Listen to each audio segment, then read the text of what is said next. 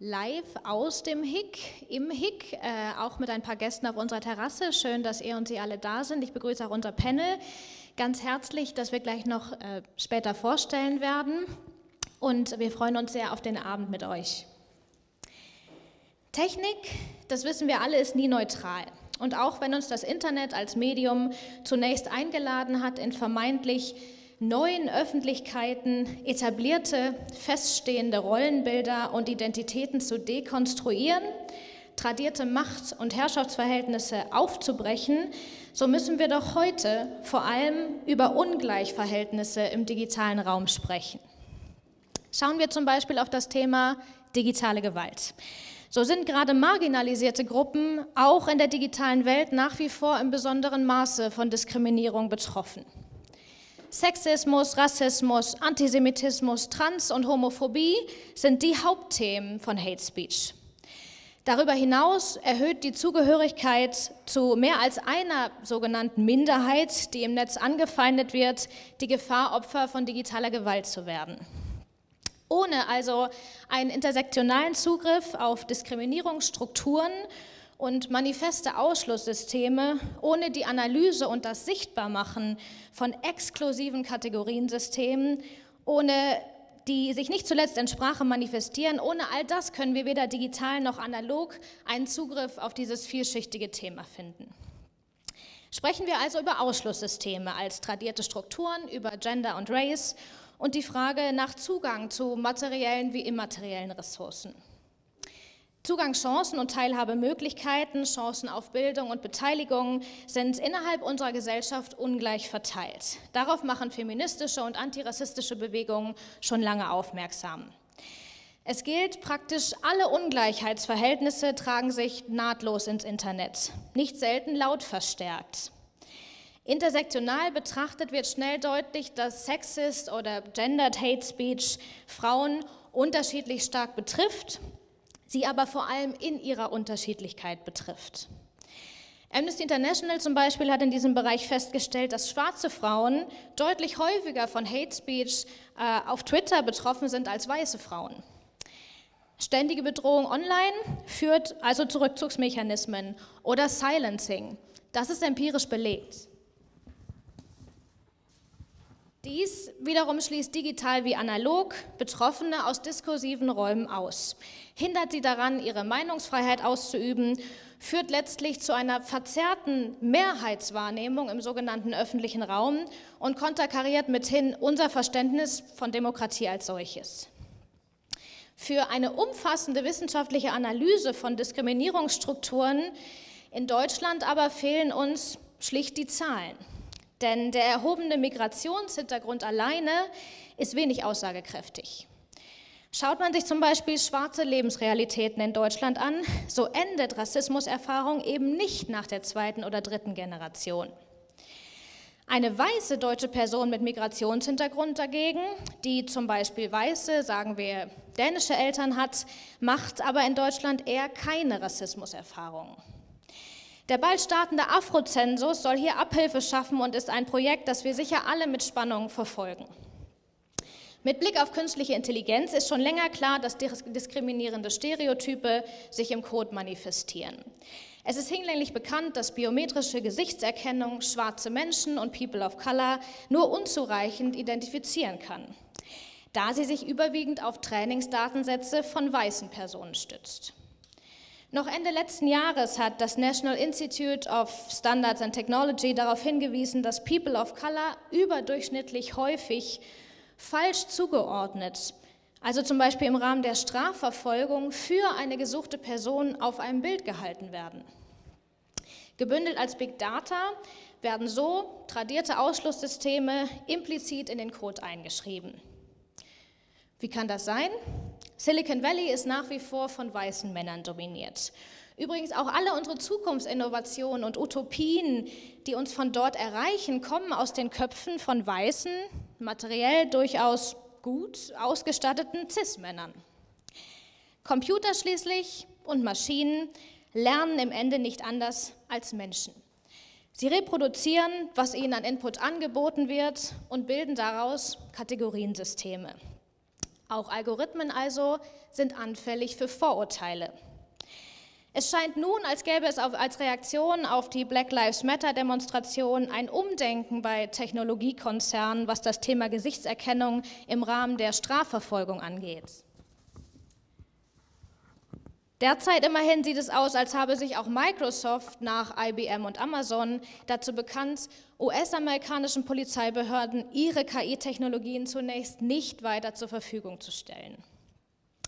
Zurück aber zur Sprache. Im Ankündigungstext zu unserer Veranstaltung haben Sie schon gelesen, dass Google rassistische Begriffe aus seinem Code streichen will. Blacklist wird durch Blocklist ersetzt, Whitelist durch Allowlist. Ebenso überarbeitet werden sollen äh, die Benennung der Hierarchiezusammenhänge von Master und Slave im Rahmen digitaler Architekturen. Code ist Sprache und Sprache formt Denken. Sprache erst erzeugt Rahmen und Grenzen, innen und außen, ein Wir und ein Sie. Woher kommst du? Stellen Sie Menschen diese Frage? Wen fragen Sie das? Und warum eigentlich? Jetzt freue ich mich sehr auf unser Panel. Vielen Dank. Vielen Dank, Katharina.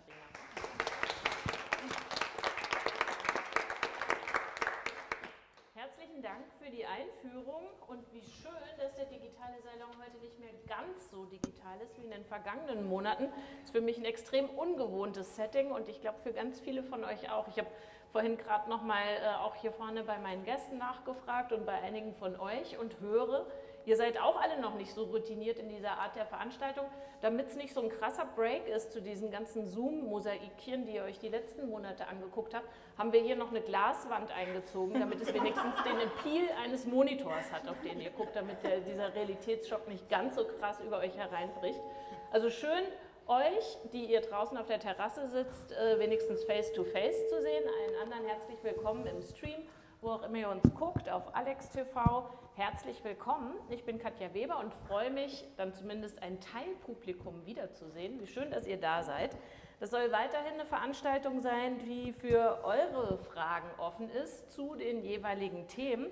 Also hier vor Ort genauso wie im Stream. Wenn ihr Fragen habt und nicht vor Ort seid, dann stellt die Fragen gerne auf Slido oder auf Twitter unter dem Hashtag Dicksaal oder ihr draußen hebt einfach eine Hand und dann wird Natascha vom HEG zu euch kommen und äh, euch äh, das Mikro hinhalten, in das ihr dann hineinsprechen könnt. Sonst hatten wir ja leider immer den äh, heißen Stuhl. Den mussten wir jetzt leider Corona-bedingt mal aussetzen. Mal sehen, wann der wieder zu uns kommt. Also, ähm, nutzt gern dieses Angebot. Ansonsten seht ihr, haben wir euch am Platz bewirtet mit ein paar Popkörnern. Sonst greifen ja hier alle eine große Schale. Auch das ist nicht möglich. Aber ich glaube, so im Rahmen der Möglichkeiten, netter wird es nicht. Also genießt diesen Abend. Ähm, wir wollen über Diskriminierung reden per Algorithmus. Katharina hat das, ähm, glaube ich, schon ziemlich facettenreich dargestellt, über die Verlängerung unserer Einstellungen, unserer Vorurteile hinein in Apps, in Software oder in digitale Dienstleistungen. Und ich habe drei super Gesprächspartnerinnen hier, also auf weitem Feld verstreut, hallo, ähm, die sich aus unterschiedlicher Expertise heraus mit solchen Fragen beschäftigen. Ich möchte euch Shirin vorstellen. Shirin Riassi, sie hat Psychologie und Mathematik studiert, ist jetzt wissenschaftliche Mitarbeiterin an der Hochschule für Technik und Wirtschaft hier in Berlin und arbeitet dort mit am Projekt LADI, schönstes Denglisch, äh, Learning Analytics und Diskriminierung finden da zusammen. Und da geht sie der Frage nach, ob und wie digitale Lernsysteme anfällig sind für die Diskriminierung der Lernenden, also vielleicht ein Feld, das man gar nicht bei dem Thema so als erstes auf der Scheibe hat. Herzlich willkommen jedenfalls. Schön, dass du da bist. Vielen Dank. Christina Dinar ist da. Sie hat soziale Arbeit studiert und beschäftigt sich mit der Frage, wie Diskri gegen Diskriminierung online vorzugehen ist. Also Hate Speech, demokratisches Miteinander, das sind Themen für Sie schon seit langer Zeit, auch in den vorangegangenen Positionen, bei der Ebert Stiftung zum Beispiel, bei Wikimedia Deutschland oder der Amadeo Antonio Stiftung. Jetzt ist sie stellvertretende Direktorin am Center for Human Internet and Human Rights. Und Francesca Schmidt ist da, hallo, nach da hinten links, kommt aus der Literatur- und Sprachwissenschaft und ist am Gunda Werner Institut für Feminismus und Geschlechterdemokratie zuständig für das Feld feministische Netzpolitik. Also Katharina hatte ja schon äh, angerissen, inwiefern sich vielleicht bestimmte Diskriminierungsmuster überlagern oder multiplizieren. Und auch sie beschäftigt sich mit der Frage, welche Rolle spielen Algorithmen, welche Erwartungen stecken in ihnen. Und ich würde euch alle drei gerne als erstes fragen und vielleicht bei dir, Francesca, beginnen. Ähm, wie eben gehört, wir denken und wissen es eigentlich besser, aber wir denken, oder mir geht es zumindest so im ersten Impuls, Software, Programme, Mustererkennung. Das klingt so schön neutral, das klingt total schön objektiv, was wir übersetzen in gerecht. Wir alle wissen, dass sie es nicht sind, haben aber trotzdem ja oft Probleme, programmierte Einseitigkeit oder Vorannahmen zu erkennen, also das wieder rauszufiltern. Wann ist dir denn zuletzt an, eingefallen, an der App, an dem Programm ist was faul, irgendwas ist hier schief? Hm. Da muss ich direkt weiter rein, da fällt mir jetzt äh, gar kein Programm ein. Tatsächlich, ich wurde mal, ich habe äh, spaßeshalber mal dieses äh, Gesichtsprogramm gemacht, ja. wenn man älter wird, da wurde ich als männlich gelabelt. Mhm. Das äh, wäre dann rein theoretisch falsch gewesen mhm. tatsächlich. Geht vielen Frauen so, auch das haben wir ja gehört. Genau. Christina, wann äh, ist dir das zuletzt so gegangen? Also mit dem Chatbot äh, meiner Bank. Oh, da weiß ich nicht, ob der Ton gerade verstärkt wird, oder? Hört ihr mich? Jetzt würde ich sagen. Der ich, äh, die Chatbot, Chatbot meiner Bank, würde ich sagen, das war. Was hat der für Mist gemacht? Ach, das Problem, was ich hatte, dass irgendwie da kam dann immer nur die FAQ, dann habe ich schon gleich gemerkt, okay, der, wird entweder äh, der Erklärrahmen ist sehr abgesteckt und mein Problem kann ich darin nicht lösen. Aber die Bank hat mir jetzt auch nicht unbedingt viel anderes angeboten. Und das ist dann immer, da läuft man immer so im Kreis. Und deine Reaktion darauf war ein Wechsel der Bank? ja, also äh, das ist hm, vielleicht. okay, das lassen wir dann deine Privatsache sein. Was war es bei dir zuletzt, Shirin, wo du dachtest, äh, hier müsste mal nachgearbeitet werden? Also es ist eher ein menschlicher Fehler als ein äh, algorithmischer, aber bei meiner Sprachlern-App nervt es mich immer tierisch, wenn die Beispielsätze lauten, äh, meine Frau denkt schon wieder an Kleider oder also wenn du Geld brauchst, dann frag doch mal deinen Mann um Hilfe oder so. Also es sind quasi so Standardsätze, die man äh, auf dieser Sprache lernt und es wiederholt sich. Also die Frau denkt ständig an Schmuck. Also man sieht dann immer so ein Bild von der Frau, die so Träume, also so ganz verträumt an Schmuck denkt. Mhm. Aber bald ist also, ja wieder Valentinstag und dann wird der Mann Wünsche wahr machen. genau. Okay, also ja. da sehen wir vielleicht auch schon mal so einen Hinweis äh, darauf, inwiefern Sprache und Programmierung auch bei dem Chatbot verzahnt sind. Gesichtserkennungssoftware ist natürlich das Beispiel auch in der Einführung schon gehört, das wir alle in der Zeitung gelesen haben, was vielleicht in gewisser Weise das prominenteste ist, dass Menschen mit heller Haut besser identifiziert werden als Menschen mit dunkler Haut und Männer hin wiederum besser mit einer größeren Treffgenauigkeit als Frauen was auch dazu, sucht, äh, dazu führt, dass ich beispielsweise als schwarze Person in den USA, wo die Polizei diese Methoden einsetzt, fälschlicherweise verhaftet werde, weil das Programm mich verwechselt mit einer gesuchten Person. Ähm, vielleicht für euch der Hinweis, vielleicht kennt ihr den TED-Talk der Computerwissenschaftlerin Joy Buolamwini noch nicht.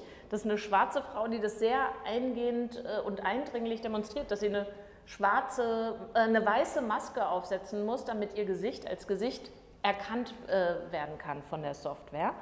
Ähm, Coded Gaze nennt sie das, das könnt ihr euch vielleicht gerne angucken. Jetzt beschäftigst du, Shirin, dich ja mit Voreingenommenheit, ich habe es vorhin gesagt, die vielleicht viel weniger sichtbar und spürbar mhm. ist, obwohl man sie auch irgendwie nicht vermutet. Also mhm. beim Lernen, da hofft man ja auf so eine gewisse Objektivität der Personen, die mich beurteilen. Mhm. Inwiefern sind Lernprogramme irgendwie biased oder diskriminierend? Was kann da was schiefgehen? Eine Menge. Also ähm, es gibt tatsächlich extrem viele Quellen ähm, von Bias oder von Tendenzen, systematischen Fehlern. Ähm, das Offensichtlichste ist, ähm, die KI ist dazu da, um den Menschen nachzuahmen und der Mensch, der diskriminiert nun mal. Und deswegen ist es eigentlich nicht verwunderlich, dass die KI das auch nachahmt. Aber tatsächlich gibt es noch viel mehr Quellen von solchen systematischen Fehlern. Zum Beispiel wenn ähm, es reicht schon aus, wenn Menschen unterrepräsentiert sind. Ähm, also es gibt, es gibt da äh, zig Quellen, es gibt den te äh, technischen Bias, ähm, wenn, wenn Menschen zum Beispiel weniger technisch affin sind oder so, wenn zum Beispiel ähm, gewisse Dinge gemessen werden, an denen der Erfolg oder die, ähm, die Strebsamkeit festgemacht wird, äh, die aber nicht unbedingt ähm, fair sind. Also zum Beispiel, wie lange war ich eingeloggt? Total genau. lang. Habe aber zwischendrin Spaghetti gekocht, äh, gegessen und ähm, irgendwie mir die Fußnägel lackiert. Und dann zählt das aber trotzdem ein auf die ist besonders fleißig, während andere, die vielleicht punktuell zielgerichteter arbeiten, hinten überfallen. Ganz genau. Also was halt auch ganz klassisch äh, genutzt wird, sind auch so Klickzahlen. Also wie oft klickt jemand auf irgendeinen, wie oft hat jemand dieses, dieses PDF-Dokument gedownloadet, wie oft hat jemand diese und jene Seite aufgerufen. Ähm, das muss natürlich kein Indikator für, äh, für Kompetenz sein. Okay, aber wir sind heiß auf Quantifizierung. Klicks kann ich messen, Verweildauern kann ich messen. Ähm, wenn ich jetzt wiederum Lehrerin bin und ähm, arbeite mit einem solchen Programm, bin ich mir dann, ich weiß nicht, ob ihr das erhoben habt, aber bin ich mir dann üblicherweise darüber im Klaren, dass da eine gewisse Schieflage herrschen könnte? Oder vertraue ich auch von der anderen Seite nicht als Lernende, sondern als Lehrkörper äh, der Neutralität dieser Anwendung? Ja, also es gab da tatsächlich, ähm, also unsere Partner-Uni hat da tatsächlich eine Umfrage gemacht an vielen Schulen und, ähm, äh, und auch an Hochschulen. Und wir haben gesehen, dass Moodle, ähm, Moodle haben wir. Untersucht, das ist so eine, so eine Online-Plattform, die jetzt auch mehrere Unis nutzen, dass Moodle im Moment vor allem genutzt wird, um, um Dateien abzustellen. Das heißt, noch wird es nicht so ähm, extensiv genutzt, aber es gibt in Moodle schon eine äh, KI-basierte Funktion, die ähm, gefährdete Studenten erkennt. Also die, zum, die einem Lehrer vorhersagt, diese und diese und diese Personen werden vermutlich durchfallen durch die Prüfung. Und ähm, Anhand welcher Kriterien? Das kann ja durchaus auch hilfreich sein, weil es gibt mir vielleicht den zeitlichen Vorsprung, den ich brauche, um diesen drei Personen äh, nochmal zu helfen oder nochmal mehr Input und Aufmerksamkeit zu schenken. Das stimmt, das ist natürlich die gute Intention dahinter, aber es gibt natürlich auch den, äh, den Rosenthal-Effekt, das, was man erwartet, das äh, tritt vielleicht auch eher ein. Also wenn ich erwarte, dass ein Student eher durchfällt, dann, dann begünstige ich das vielleicht auch durch mein Verhalten. Mhm. Ähm, also, ja, also da gibt es äh, auf jeden Fall äh, äh, Unsicherheiten auf, auf allen Seiten sozusagen. Das haben wir vorhin schon gehört in der Einführung, Garbage in, Garbage out, also die Datensätze, die ich äh, reinspiele, werden mir in gewisser Weise ähm, symmetrisch auch wieder ausgespielt. Ähm, wenn ich die Systeme also mit Schrottdaten oder ähm, mit sehr einseitigen, sagen wir, Gesichtsdatensätzen füttere, dann fällt das Ergebnis entsprechend aus. Jetzt würde das vielleicht auf Schirins Baustelle übersetzt heißen, die Datensätze sind zu alt, ähm, es werden die falschen Zeitfaktoren abgefragt und gemessen, manche Aspekte vielleicht zu stark gewichtet. Würdest du sagen, Christina, so ein sensibles System, wo ja jede Menge Faktoren miteinander in Beziehung treten, lässt sich überhaupt so kalibrieren, dass es frei ist von Vorannahmen? Oder ist das Ideal, einfach Vorannahmen irgendwie runterzuschrauben, aber so ganz eingenordet bekommt man es nicht? Ja, generell würde ich schon sagen, also vor allen Dingen, weil wir es ja mit Datensätzen zu tun haben, also finde ich auch nochmal interessant, Datensätze, die häufig also wo bestimmte Perspektiven fehlen. Und wir haben diese alten Datensätze, die werden eingespeist.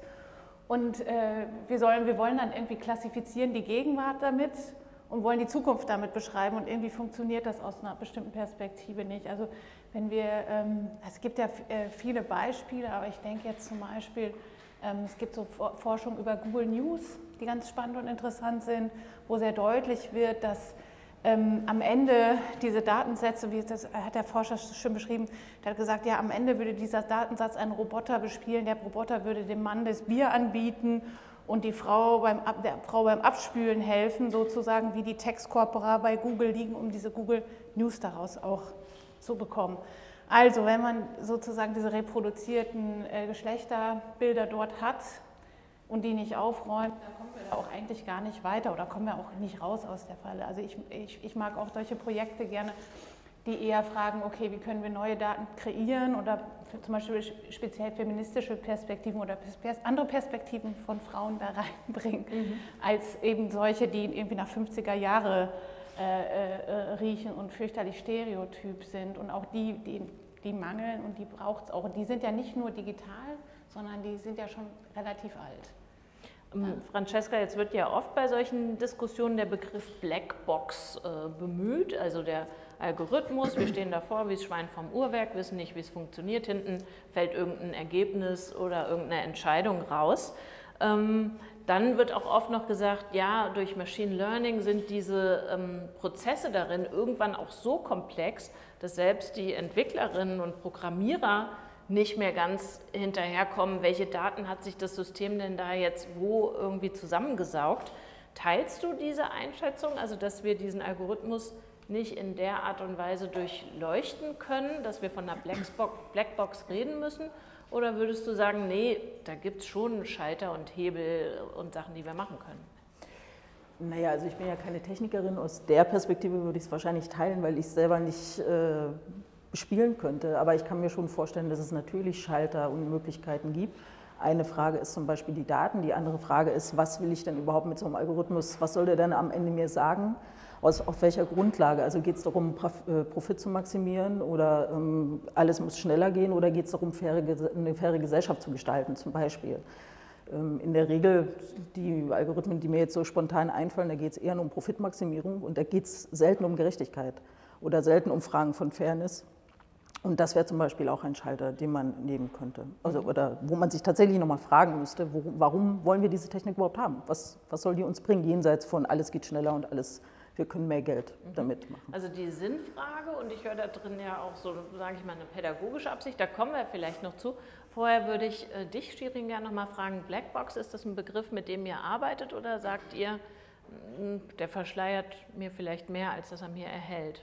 Ähm, eigentlich benutzen wir den Blackbox-Begriff nicht mehr. Also es gibt quasi die drei, ich sag mal, die drei Etagen ähm, ähm, Transparenz, Interpretierbarkeit und Explainability, Erklärbarkeit. Und an der Transparenz mangelt es eigentlich nicht. Also die meisten Mathematiker verstehen die klassischen äh, Machine Learning-Algorithmen zumindest. Mhm. Aber das war ein ganz interessanter Punkt, den du aufgebracht hast, Francesca, weil, ähm, weil es nämlich genau um die Optimierung geht. Es geht nämlich genau um die Modellierung, was wird denn hier genau optimiert und warum kann man nicht noch eine Fairness-Komponente in die Modellierung reinbringen? Und das ist gerade ein aktuelles Problem, daran wird geforscht. Und das ist zwar auch Teil der Transparenz, weil es in der Transparenz nämlich um den Algorithmus geht. Wenn ein, wenn ein Mathematiker auf das Modell schaut, kann man das begreifen in, mhm. im mathematischen Sinne. Ja, das kann man oft, außer ähm, die Firmen optimieren nun mal nach, äh, nach Profit oder nach wonach auch immer, aber nicht nach Fairness. Ähm, ja, und, und die, ich sag mal, die Stufen, die danach kommen, Interpretierbarkeit, Erklärbarkeit, das sind jetzt auch nochmal ganz interessante Stufen, weil es da nicht nur um darum geht, verstehe ich die Mathematik dahinter, sondern es geht darum, kann ich das visualisieren und kann ich einem Menschen eine Begründung da für diese eine äh, Entscheidung oder für, für Summen von Entscheidungen mhm. liefern. Mhm. Also, mhm. Okay, genau. ich glaube, äh, durch diese Stufen werden wir noch gehen. Ähm, Christina, oft heißt es ja oder hieß es in den vergangenen Jahren, die Diskussion ist ja keine ganz neue, diverse Teams würden helfen, wobei ich hier natürlich eine Fußnote äh, reinschalten muss, dass wir heute Abend die Position von Männern hier vorne auch nicht zwingend abbilden oder die von schwarzen Personen. Und ich hoffe, wenn ich euch jetzt sage, dass das an einer großen Anzahl von Terminkollisionen und urlaubsbedingten Absagen gelegen hat, dann glaubt ihr mir das und sagt nicht, klingt genauso lame, wie wenn die Redaktion Maischberger das sagt. Äh, also trotzdem nochmal die Frage, ist es so, dass möglichst diverse Teams Vorurteile verunmöglichen durch diese drei von Shirin genannten Stufen hindurch oder ist das auch wieder so idealiter gesprochen? Es ist beides so ein bisschen, aber ich, also natürlich macht das schon was, aus meiner Erfahrung würde ich schon sagen, aber ähm, diese diversen Teams alleine setzen das ja nicht um, sondern es ist ja letztendlich, wie gesagt, so ein Auftraggeber, Auftraggeberin, die dahinter sitzt, also jemand, der die Software auch gerne hätte oder diese Form von Algorithmus, der, den würde ich, sehe ich eher in einer stärkeren Verantwortung. Weil wenn ich jetzt als Programmiererin da sitze und auch als schwarze Programmiererin ähm, und ich bin in so einem diversen Team, heißt es noch lange nicht, dass, dass das sozusagen, also da sind einfach auch Hierarchien. Mhm. Und da sitzen doch dann meistens äh, Männer, die das auch mitentscheiden, die vielleicht diese Interessen auch gar nicht mittragen. Also ich bin da so ein bisschen, also Diversity wichtig, ja, macht einen Teil aus, aber auch nur einen Teil. Und dann auch auf einer bestimmten Entscheidungsebene. Mhm. Jetzt haben wir ja ganz oft auch mit statistischen Effekten zu tun, die so eine Verzerrung reinbringen. Also ähm, Lange mussten Frauen zum Beispiel höhere Beiträge zahlen in die Lebensversicherung als Männer, weil höhere Lebenserwartung. Du hast gesagt, Francesca, da wird geguckt, was optimiere ich, äh, wie ist die Kalkulation, wo ist der Gewinn, wie teile ich das auf, dann springt sowas bei raus. 2019 hat Apple eine Kreditkarte gelauncht, die Frauen einen geringeren Kreditrahmen eingeräumt hat als Männern. Und ich vermute mal, weil Frauen im Schnitt weniger verdienen, Christina, du hast es gesagt, quasi Blick in die Vergangenheit, der dann verlängert wird als Projektion in die Zukunft. Ähm, ich könnte mir vorstellen, dass es bei Lernprogrammen auch so ist, dass gesagt wird, okay, eine, da ist eine Frau, die studiert ein MINT-Fach. Wie viele erfolgreiche Abschlüsse von Frauen hatten wir da in den vergangenen Dekaden? Na, nicht so viele. Wahrscheinlich ist die Prognose eher nicht so prall für die äh, einzelne Person. Ähm, würdest du sagen, Francesca, sowas ließe sich rausrechnen oder kommen wir da wieder zu dem Fairness-Schalter, der so als Gegenpol da implementiert sein muss? Also wie gesagt, technisch kann ich das gar nicht beantworten. Ich tippe mal wahrscheinlich schon, aber dafür müsste man natürlich diese ganzen Formen von Diskriminierung erstmal anerkennen, benennen ähm, und feststellen, dass sie tatsächlich da auch stattfinden. Also das Lustige bei dem Apple-Beispiel ist ja, dass die Frauen äh, teilweise schlechtere Kreditrahmen bekommen haben als die Männer, aber mehr verdient haben als die Männer. Also doppelt so viel wie die Männer und trotzdem weniger Kredit. Und ähm, ich glaube, das ist eigentlich äh, unser ha Hauptproblem oder das Problem, dass wir sozusagen diese ganzen Ungleichheitsverhältnisse, Ungleichheitsverhältnisse nicht wirklich bekämpfen wollen, können, tun, wie auch immer. Und solange wir das nicht machen, können wir uns lange über Algorithmen unterhalten, die irgendwas besser machen sollen, aber sie werden es halt nicht besser machen, weil wir als Gesellschaft nichts an Ungleichheitsverhältnissen, an Diskriminierung verbessern. Also du sagst, hm, also am Algorithmus ansetzen, interpretiere ich jetzt rein, ist nicht so das Ding zitiere ich den KI-Experten Richard Socher, der sagt, ich glaube, dass es einfacher ist, einen Algorithmus bewusst anzupassen, als zehntausenden Leuten Vorurteile abzutrainieren. Das ist jetzt natürlich so der Klassiker Huhn und Ei. Wo geht's los? Wo muss angesetzt werden? Analog bei den gelebten Ungleichheiten oder digital, quasi erzieherisch oder mit pädagogisch-didaktischer Absicht bei den Programmen und Anwendungen? Was wären da so euer Guess jeweils? Tina guckt da jetzt. Ja, ich, also, äh, gerade als Pädagogin würde ich sagen, es ist immer beides, sorry. Und gerade ähm, junge Menschen leben ja nie in einer Welt, äh, wo sie das auseinanderdividieren würden. Ne? Also ihre Lernwelt ist digital, aber sie ist auch analog. Und sie würden das, glaube ich, nicht so machen, wie, wie, wie wir das immer noch auseinanderdenken. Und, aber das ist ja auch eine, eine spannende Herausforderung, die da an uns steht. Also ich, dieses Zitat, ähm, das, das denkt Technik und Mensch und, und sozusagen digitaler. Ich, ich denke, das muss zusammengehen und auch dieses Bewusstsein darüber zu schaffen, okay, Algorithmen machen Fehler. Und wann misstraue ich denn diesen Fehlern? Chatbot ja, oder, oder Dinge, die sehr eingängig sind, die sehen wir ja noch, aber es wird ja immer komplexer werden. Und wann nehmen wir das eigentlich dann? Wann ist die KI so stark, dass wir das noch wahrnehmen? Die, die, die Herausforderung finde ich in, äh, noch mal viel interessanter, auch als Frage, die man pädagogisch mit der Diskriminierung auch mit bewältigen muss. Also was wir jetzt tun, ist ja sehr offensichtlich. Ne? Würdet ihr da zustimmen oder äh, würdet ihr die Gewichte jeweils anders hängen? Bei Huhn und Ei beides? Ja. Auf jeden Fall beides, ja. Okay, dann äh, habt ihr sicherlich noch nicht den ausgearbeiteten Masterplan dabei, aber zumindest die ersten drei Steps oder Empfehlungen, wie dieses beides und dieses Zusammendenken, diese Engführung ähm, ja, zu bewerkstelligen ist. Also gibt es da vielleicht Beispiele, von denen ihr wisst, Best Practice bei Lernprogrammen, bei der Benachteiligung von Frauen oder Minderheiten, wo äh, gezeigt wurde, okay, hier ist die Stellschraube und hier ist äh, dieses Fairness-Tool, das ich in die Programmierung reinhole. Wisst ihr, wo das gelungen ist? Ich, also vielleicht fällt euch was ein, aber mir fällt jetzt nichts ein. Ich glaube, wir müssten auch mal über Fairness als Gesellschaft diskutieren. Was ist denn überhaupt fair? Und was ist gerecht, ähm, bevor wir sagen, hier ist der Fairnesshebel und da machen wir irgendwie zwei Punkte und dann ist alles fair. Also wir sehen es ja gerade, also aus einer feministischen Perspektive sieht man es schon sehr lange äh, an der Bewegung, aber wir sehen es jetzt auch gerade bei der Black Lives Matter Bewegung. Äh, da geht es gerade um Gerechtigkeit und Fairness ist ein schwieriger Begriff dann, aber da geht es um Gerechtigkeit und die Abschaffung von Ungleichheitsverhältnissen. Wir sind mitten in dem Aushandlungsprozess. Also ich glaube, das ist nicht so easy peasy. Ähm, das wäre vielleicht die Stelle, wo ihr sagen könntet, na, ist doch offensichtlich, da und da hat das geklappt. Also wenn es irgendwie aus dem Publikum die entsprechende Eingabe gibt, gebt gerne ein äh, Handzeichen, dann hören wir uns das gerne an. Auch für andere Fragen, wie gesagt, ähm, ich gucke natürlich hier vorne ganz viel, aber äh, hebt gerne die Hand, wenn es eine Frage gibt. Da wird äh, irgendwie nach dem stille Postprinzip weitergeleitet, aber ich weiß gar nicht, ob der doch ein Mensch möchte was sagen. okay. Bitte schön. Ja, ich finde es unheimlich wichtig zu unterscheiden, weil es immer so ein bisschen durcheinander geht zwischen Algorithmen, klassischen Algorithmen, mhm. wo ich eine Entscheidung treffe nach bestimmten Kriterien. Genau. Ich sage, wenn jemand schwarze Hautfarbe hat, blaue Augen hat, wenn jemand ein bestimmtes Alter hat, dann ist zum Beispiel sein Kreditscore besser oder schlechter. Seine Prognose, dass er rückfällig wird, wenn er in der Haft ist, ist schlechter oder besser. Da kann ich das relativ klar äh, strukturieren und kann das auch nachprüfen. Im, im besten Fall, wenn es Open Source ist. Ich würde das ganz klar unterscheiden von neuronalen Netzwerken, weil das so ein bisschen durcheinander geht. Finde ich unheimlich wichtig weil neuronales Netzwerk immer noch leider eine Blackbox ist.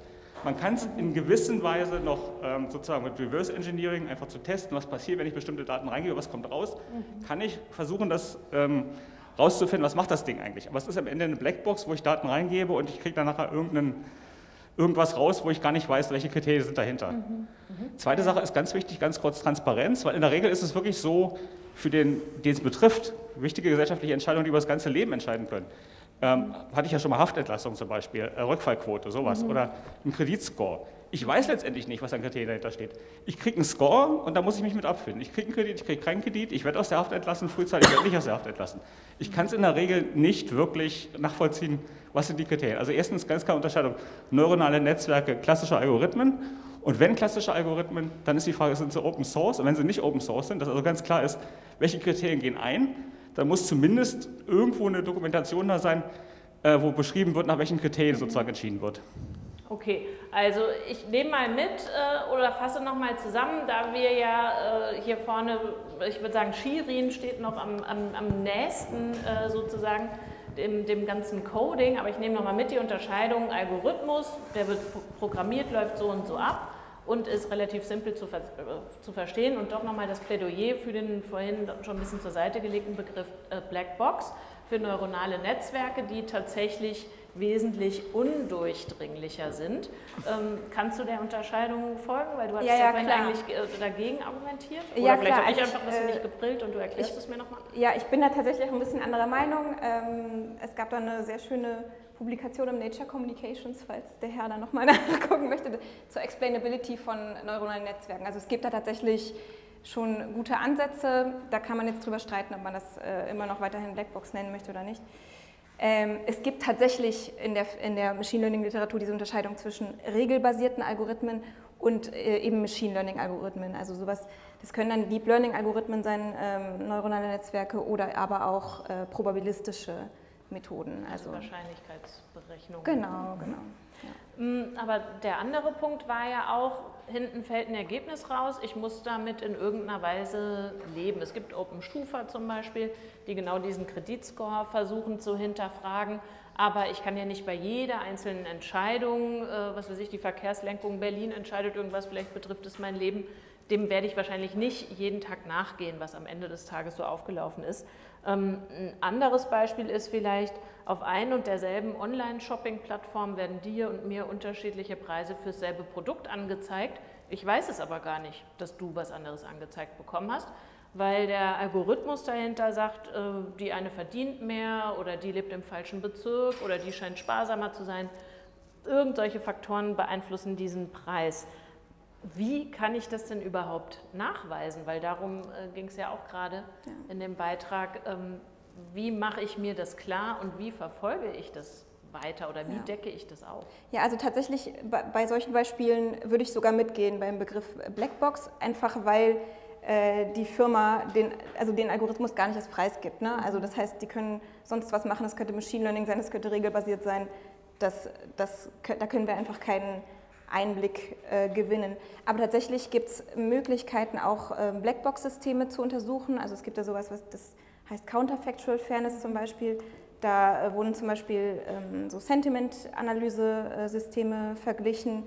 Äh, Sentiment-Analyse-Systeme also, ähm, weisen einem Satz eine gewisse Wertigkeit zu, entweder ist der Satz positiv oder negativ.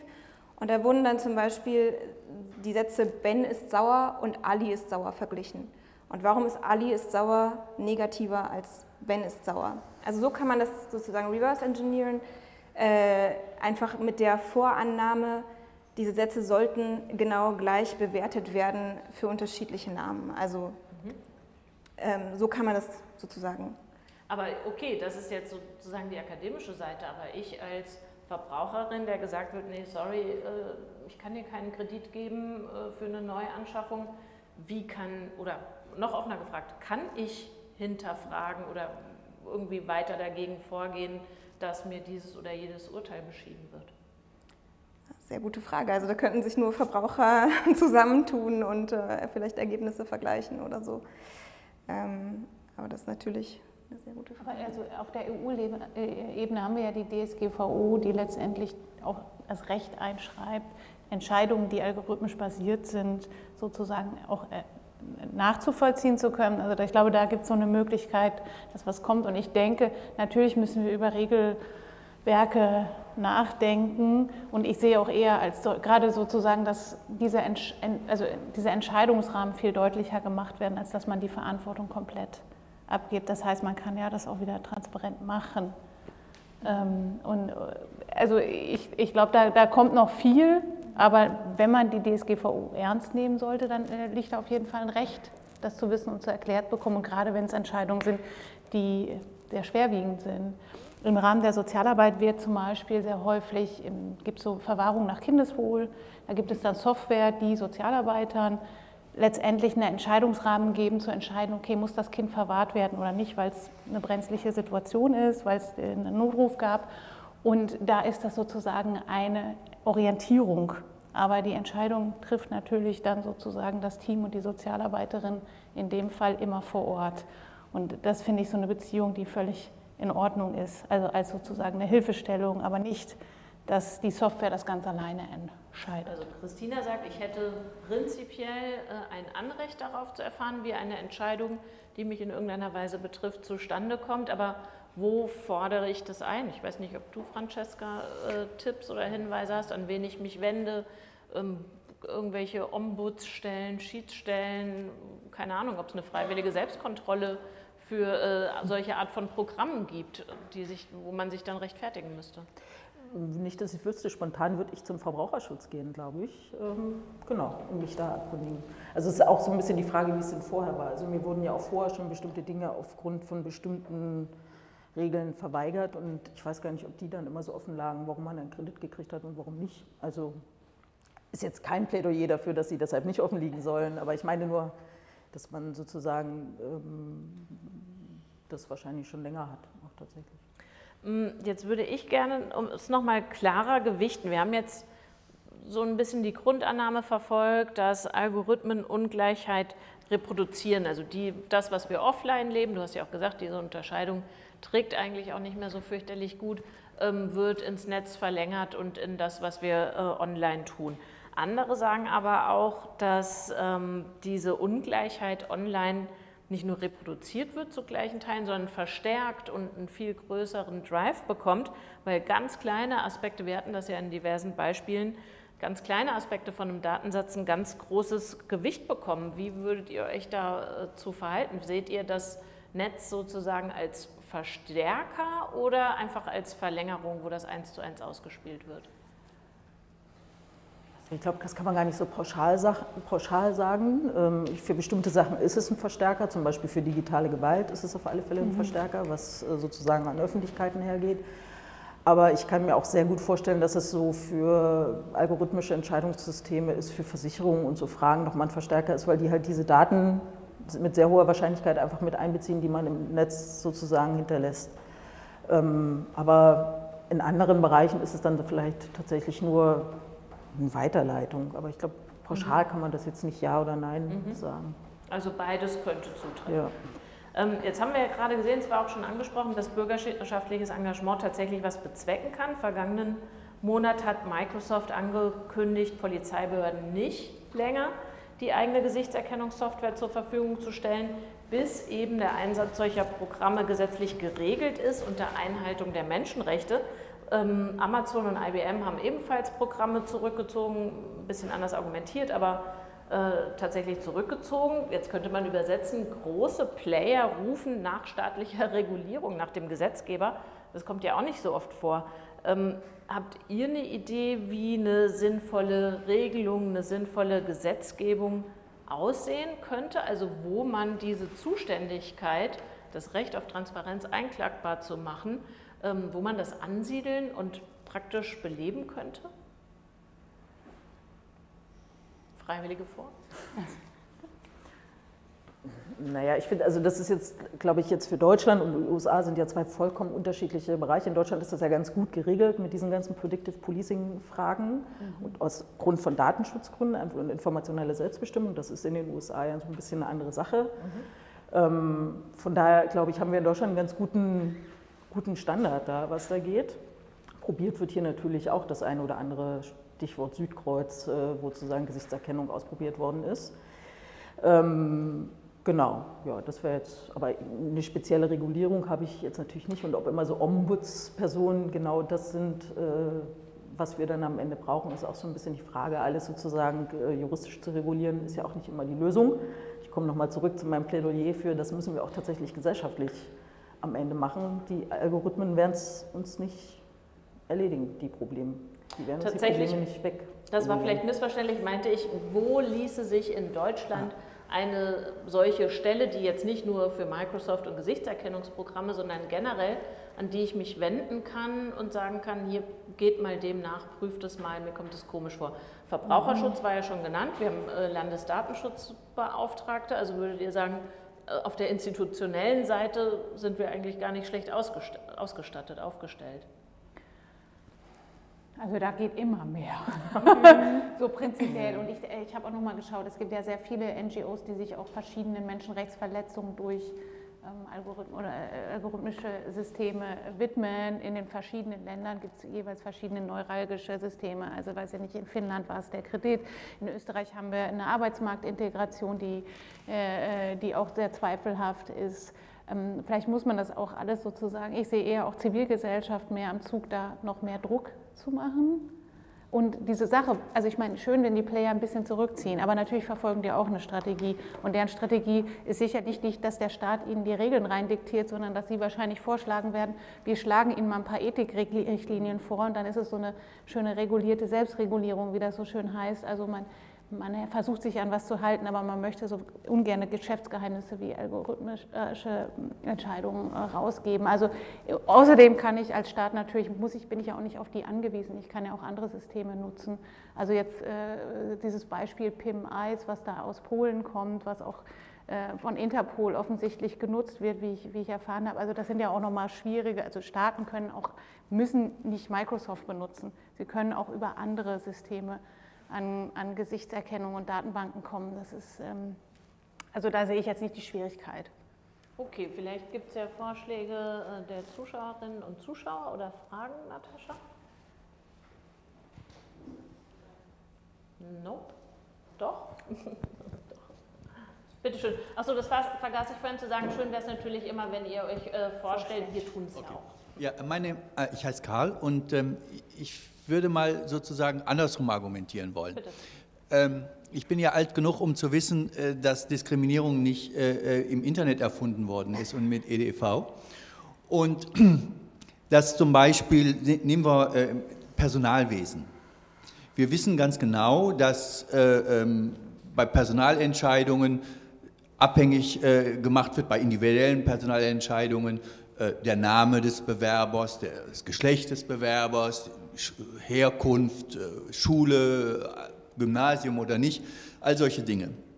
Und ähm, jetzt müsstet äh, ihr mir erklären, warum ich ein algorithmusbasiertes System, was vielleicht darauf ähm, gezielt wäre, solche, sagen wir mal, Nebensächlichkeiten oder nicht so zentralen Sachen geringer zu bewerten, äh, warum, ich, äh, warum das mich beunruhigen sollte. Wäre es eigentlich nicht toll, wenn ich jetzt nur noch Resümees von Leuten kriegte, wo das hieß, der Kandidat A hat die und die Qualifikation, die Kandidatin B oder noch nicht mal, also lassen wir den Gender weg, nicht? Also Kandidatin mit Stern, nicht? Äh, äh, und dann kriege ich eine Liste und dann, dann suche ich mir den oder diejenige aus, die offensichtlich die Beste, der Beste ist, ohne, ohne das Gesicht gesehen zu haben, ohne den Namen gesehen zu haben und so weiter. Wäre doch, wär doch toll, wäre doch eine schöne Utopie, oder nicht? Frage ja, an dich. genau, also schön wär's, aber tatsächlich gab es da schon einen Skandal zu. Hast du da noch dran gedacht? Amazon, der, der, bekannte Amazon-Skandal. Mhm. Äh, sie haben nämlich genau das versucht, einen Recruitment-Algorithmus, ein Recruitment-System bauen, ohne Namen, ohne Alter, ohne alles, was, wogegen man diskriminieren könnte. Und der hat aber trotzdem Frauen systematisch benachteiligt. Warum? Weil er frauentypische Wörter erkannt hat in Was den ist Bewerbungen. in einer Bewerbung ein frauentypisches Wort? Ähm, ich habe jetzt die, die, die, genauen Wörter vergessen, aber äh, Männer beschreiben sich einfach mit anderen Wörtern typ, typischerweise. Und diese Strukturen hat der Algorithmus erkannt.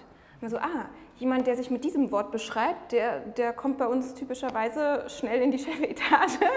ähm, und so jemand kommt eher nicht so weit. Also es gibt dieses Konzept, das äh, implizite Diskriminierung. Und ähm, das ist tatsächlich ein großes Problem, weil selbst wenn wir, selbst wenn wir die, die offensichtlichen Sachen weglassen, gibt es trotzdem noch Dinge, die uns als Frauen, Männer, wie auch immer outen und, äh, und uns verwundbar machen. Ja, dann kommt natürlich die große Frage, äh, gleich, Moment, aber da möchte ich noch anschließen, was tun? Also ähm, du, wenn du sozusagen Vorannahmen nicht neutralisieren kannst, wir waren ja vorhin auch schon mal an dem Punkt, äh, was denn dann? Also dann müsste man ja die Waffen strecken. Ja, also das ist tatsächlich ein offenes äh, Forschungsproblem, weil es, weil es einfach noch nicht bekannt ist, wonach man denn suchen kann. Weil äh, die Algorithmen sind dafür gemacht, Strukturen zu erkennen. Wir wissen aber noch nicht, ob die Strukturen vielleicht korrelieren mit dem Geschlecht, mit dem äh, Alter, wo, womit auch immer. Also es gibt da natürlich schöne Informationsmaße in der Mathematik, wo man berechnen kann, wie viel Information gibt mir das über das Geschlecht und so weiter. Aber da spielt tatsächlich Datenschutz auch eine große Rolle, weil dadurch, dass das nicht mehr erhoben wird in Deutschland, ähm, kann das auch schwerer nachgewiesen werden. Okay, das ist äh, ein großer Haufen Probleme, den wir dank deiner Frage jetzt vor uns sehen. Es gibt eine weitere Frage aus dem Publikum. Bitte schön. Ähm, also mich würde jetzt interessieren, warum sucht... Stellst du dich auch ganz kurz vor, damit wir so in etwa wissen, aus welchem Orbit du fragst? Ich heiße Tina, komme auch aus Berlin. Äh, ja. Ähm, mich würde interessieren, warum, der, warum die KI äh, nach solchen Floskeln oder Satzbauten oder wie auch immer, Sprachwörtern, äh, wie auch immer, rausgesucht hat. Das muss ja, der, die KI muss ja irgendwohin trainiert werden. Also ich kenne KI, die entweder, äh, äh, das nennt man ähm, äh, an, wie sagt man, also unautorisiertes Lernen, dann suchen die irgendwas raus. An, unsupervised, ne? An, genau, unsupervised Learning, dann suchen die irgendwas raus. Das, was du beschrieben hast, du hast das gekauft, also andere haben dir das empfohlen. Mhm. Die suchen nach irgendwelchen Mustern, das muss nicht Sinn machen. Aber beim Supervised Learning, da wird ja gesagt, suche ein Gesicht raus, was so aussieht. Und dann, wenn ich nur weiße Gesichter habe, dann kommen auch nur weiße Gesichter dabei raus. Und wenn ich nur bestimmte, nach bestimmten Sätzen suche, die muss ich ja wiedererkennen. Der Algorithmus weiß ja nicht, das ist ein Muster. Oder es erkennt ein Muster, weil es sich wiederholt. Aber das ist noch keine Wertung. Das ist ein bisschen was durcheinander gebracht ah, okay. zwischen dem äh, Ursprungs- und dem Zielraum. Also ähm, der Zielraum ist in, in dem Amazon Recruitment-Fall gewesen, äh, ist erfolgreich oder nicht zum Beispiel. Und der Input war dann Text und alles, was an Bewerbungsunterlagen äh, gesendet wurde. Und in diesem Ursprungsraum, da wird, da wird nach Strukturen gesucht, die mir zuverlässig vorhersagen können, ob jemand ein guter Kandidat ist oder nicht. Ist diese Person kompetent oder nicht? Aber da ist, ist gerade eine Verwechslung, äh, hat stattgefunden zwischen dem Ursprungs- und dem Zielraum. Der Zielraum ist quasi wirklich nur das Ergebnis, wonach ich optimiere. Also das ist genau. die Frage, was ist ein guter Kandidat? Das muss der, also gut, was ist ein guter Kandidat? Muss ja die KI wissen, wonach suche ich denn, damit das ein guter Kandidat ist? Das muss ja Kriterien haben, die müssen ja bestimmt werden. Nein, nein, das ist der Unterschied zwischen den regelbasierten Systemen und den äh, Machine Learning Systemen. Die Machine Learning Systeme sind dazu da, um Strukturen zu finden anhand von statistischen Modellen. Aber jetzt noch ganz kurz um, zu dem Amazon-Beispiel. Ich glaube, die haben das doch alles mit den ganz alten Unterlagen, die sich je bei Amazon beworben haben und erfolgreich auch beworben haben, genau. gefüttert. Ja. Und genau da hat der ähm, Algorithmus dann rausgefunden, was denn erfolgreich ist bei Amazon, nämlich offensichtlich männliche Floskeln zu verwenden, mindestens tatsächlich. Ja. Ja,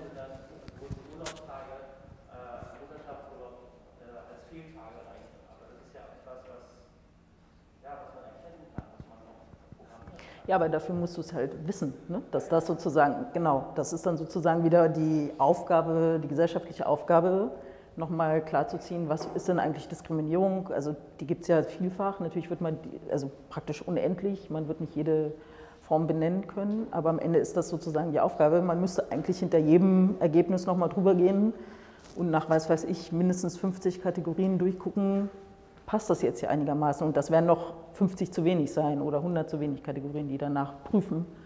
Wie diskriminierungsarm ist das dann am Ende? Also dann wir, halten wir zum einen fest, dass es eine ganz schön komplexe Thematik ist mit äh, sehr äh, diversen Vokabular und diversen Zielvorgaben. Und zum anderen kommen wir, glaube ich, immer wieder zurück zu, was ist denn die gesellschaftliche Aufgabe und wie wird dieser Diskurs seitens von Menschen, die programmieren, seitens von Menschen, die wie wir möglicherweise Apps einfach konsumieren, betrieben. Mir hat kürzlich eine Forscherin gesagt zum Thema Rassismus und Black Lives Matter, wir müssen die Matrix sichtbar machen. Das fand ich äh, einen sehr geilen Ausdruck, um zu beschreiben, es gibt Strukturen, Privilegien, die ich zum Beispiel genieße, die andere nicht genießen und ich muss es äh, mir vergegenwärtigen. Also ich, ich sehe es selber nicht, ich bin wie betriebsblind. Ich kann es aber sichtbar machen und ich finde, das ist im Alltag äh, direkt machbar und die also Argumentation leuchtete mir unmittelbar ein. Aber wie mache ich denn die Matrix hinter einem Algorithmus sichtbar, wenn ich vom Programmieren keine Ahnung habe? Wenn ich jetzt das mal zusammenfasse, was ihr gesagt habt, äh, in einer gesellschaftlichen Debatte. Das findet nicht in äh, irgendwelchen Coder-Seminaren statt, vielleicht auch, aber ähm, da nicht hauptsächlich. Oder? Um eine Frage daraus zu machen. Ja, absolut. Also ähm, als Coderin sage ich nur mal, dass es, dass es wirklich komplett unklar ist und dass man noch viel Input aus, äh, aus Unterhaltungen, aus gesellschaftlichem Input, sage ich mal, braucht, äh, um überhaupt zu operationalisieren, was Fairness bedeutet in einem Algorithmus. Weil es extrem viele mhm. Ansätze gab, extrem viele Versuche gab, ähm, Fairness in einem mathematischen Sinne zu definieren und die widersprechen sich teilweise. Mhm. Und, ähm, und es ist wirklich unglaublich schwer, obwohl alles erstmal einleuchtend klingt. Ja, ja ich sollte A nicht anders, behalten, äh, anders ähm, behandeln als B, aber, aber irgendwie ähm, doch, wenn A schlechter ist als B oder so. Also es ist alles irgendwie einleuchtend, aber äh, insgesamt unlösbar ohne, ich sag mal, gesamtgesellschaftliche Anstrengung. Blöderweise habe ich immer das Gefühl, wenn dann gesagt wird, gesamtgesellschaftliche Anstrengung tut Not, dann diffundiert die Verantwortung und alle denken, aber echt und leben so ihr Leben weiter. Also äh, wo, wo, geht das los? Also nochmal diese Matrix-Frage, wo mache ich die äh, sichtbar oder definiere sie vielleicht für mich auch um, Christina? Also ähm, manchmal denke ich an solche Web 1.0-Systeme wie Wikipedia, weil da kann ich mir nämlich zum Beispiel aussuchen, also da, da, das wird mir nicht voreingestellt. Also ich, diese Wahl finde ich wichtig. Okay, wir benutzen Algorithmen, die sind wichtig, das sind aber dass ich vielleicht eine Wahl bekomme, das nicht zu nutzen. Oder wenn ich jetzt über bestimmte Suchsysteme komme, weiß ich, dass ganz viele Faktoren da rein. Aber ich habe ja nicht sozusagen, ich müsste ein anderes Suchsystem nutzen, weil das sich wahnsinnig schon viel gemerkt hat. Aber irgendwie das Recht, sozusagen einen Ausknopf zu finden, ist ja genauso ein bisschen das Recht zu sagen, ich möchte diese Entscheidung verstehen können oder ich möchte es mir selber einstellen können. Ich, ich möchte vielmehr Teil davon sein, von diesem Algorithmen, den mir jetzt irgendeine Coderin irgendwo. Also da, da irgendwie fände ich das gut, wenn ich sozusagen so ein Google hätte ohne Voreinstellung. So, das ist dann auch eine interessante Lernerfahrung, glaube ich, an der man viel mehr machen könnte. Oder das Pricing. Ja, also natürlich hätte ich auch gerne den billigeren Preis, aber ich weiß es ja gar nicht. Also benutze ich sozusagen ganz viele verschiedene Browser-Systeme, um das zu knacken. Also wenn man äh, clever genug ist, aber eigentlich wäre das schön, wenn das sozusagen eine ethische Grundeinstellung wäre, mhm. dass man es auch ohne könnte. Weil eigentlich soll er mir ja helfen und mich nicht diskriminieren. Also wenn wir da irgendwie hinkämen. Na, dann würde ich jetzt vielleicht doch nochmal, also vielleicht kristallisiert sich das jetzt raus als Knackfrage, würde ich es doch nochmal andersrum aufziehen und fragen, vielleicht, Francesca, müssten wir die Frage stellen, wem gehören denn die Daten, also um diesen gesellschaftlichen Prozess zu initiieren, gehören die äh, Amazon, andere Kundinnen kauften auch und so weiter, oder gehören die mir und ich entscheide, wer die wo für welche Operationen und Rechenleistungen einsetzen darf. Das wäre ja vielleicht diese Teilhabe, die Christina gerade angesprochen hat. Also äh, müssten wir äh, Reclaim the Data mäßig dafür eintreten, dass, dass Datenspuren, die ich lege, auch tatsächlich meine sind. Ja, das wäre der Idealzustand, aber wir sind halt in sozusagen einem kapitalistischen Verwertungssystem, deshalb wird das nicht eintreffen. Deshalb gehören die Daten sozusagen unrechtmäßig, könnte man jetzt sagen, den großen Firmen. Aber das ist klar, Reclaim the Data wäre ein erster Schritt oder ein wichtiger Schritt tatsächlich.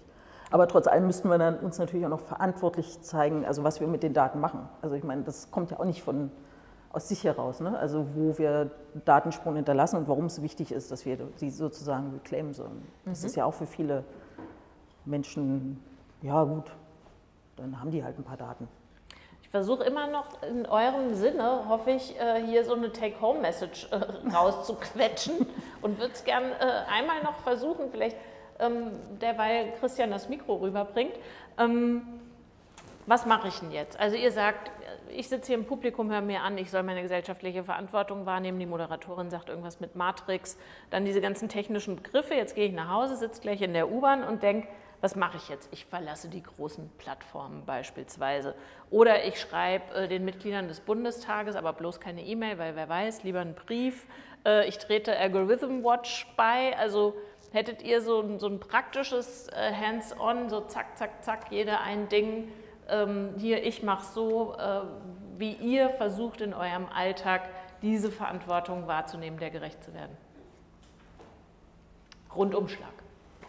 Ich glaube, es ist einfach wichtig, informiert zu bleiben. Also äh, einfach auf dem neuesten Stand bleiben und, ähm, und sich aktiv bemühen, ähm, äh, das, das, Beste daraus zu machen. Natürlich äh, ist es ein Riesenproblem, dass es im Moment keine Alternativen gibt zu den großen Plattformen. Ähm, aber vielleicht gibt es ja bald eine und vielleicht kann man selbst eine gründen und also einfach ähm, aktiv dabei bleiben, am Ball bleiben, an, an, sich selbst arbeiten, an seiner Sprache arbeiten. Ähm, ja, das, das würde ich sagen. Christine.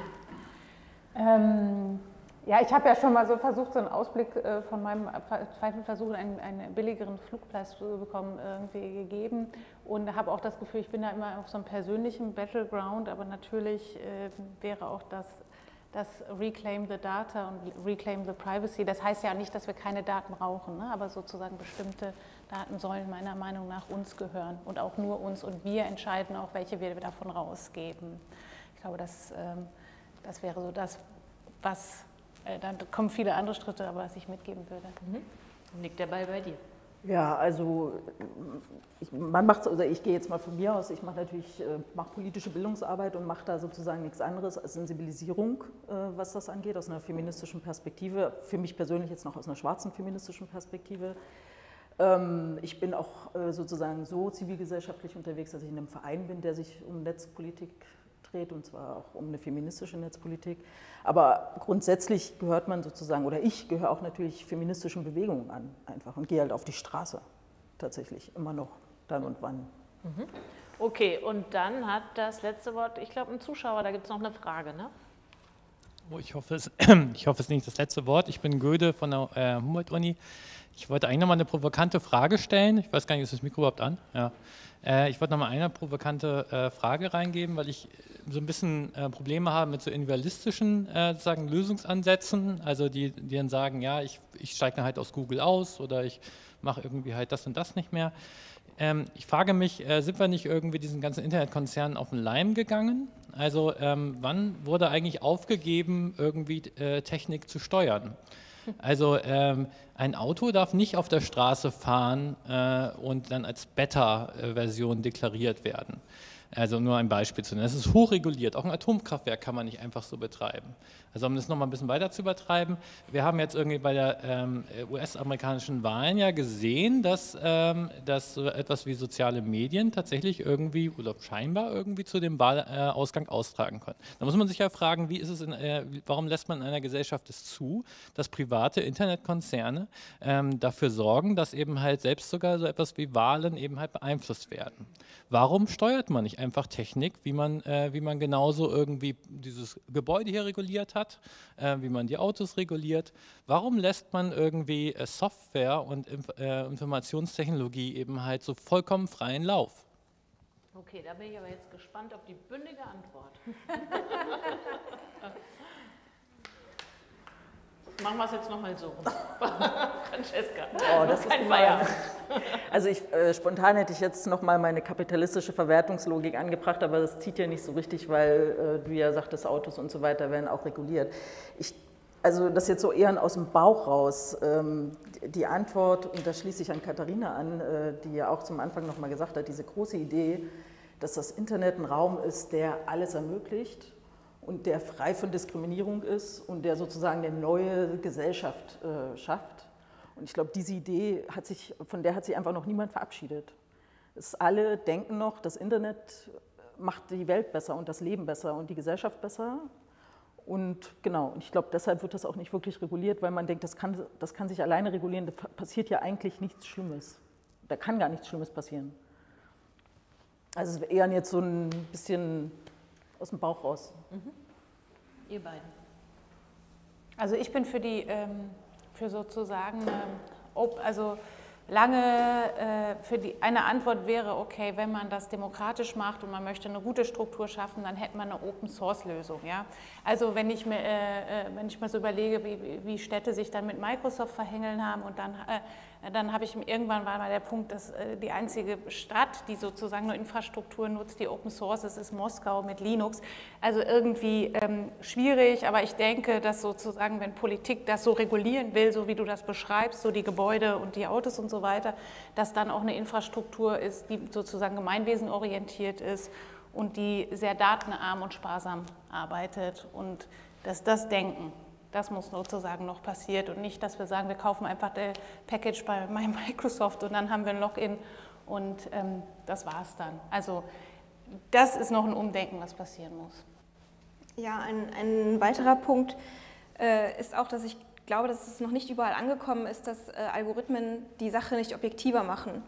Also ich finde es auch ziemlich, äh, also ich, oder ich finde es ziemlich ungeheuerlich, dass das nicht wirklich reguliert wird und, ähm, und, muss aber sagen, dass sehr viele Leute das einfach nicht wissen, tatsächlich. Auch viele Mathematiker, also viele Kollegen, auf die man trifft, äh, wenn man denen sagt, ja, ich, äh, ich forsche zur Diskriminierung bei Algorithmen, dann so, was? Die diskriminieren nicht.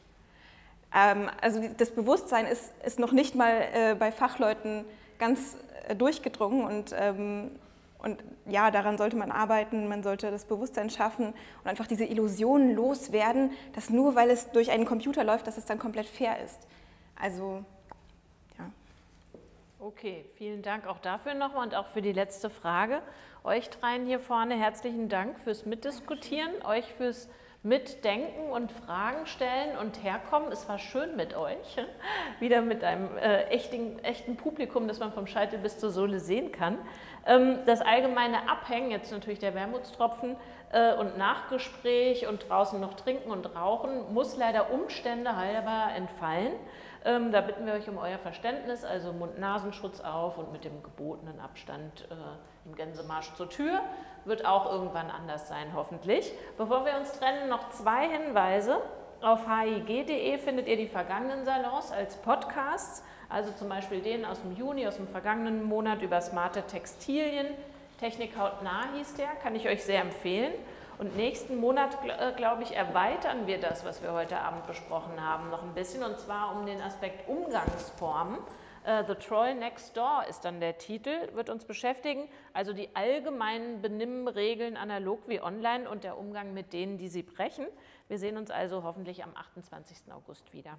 Vielen Dank, kommt gut nach Hause. Danke fürs Kommen. Tschüss.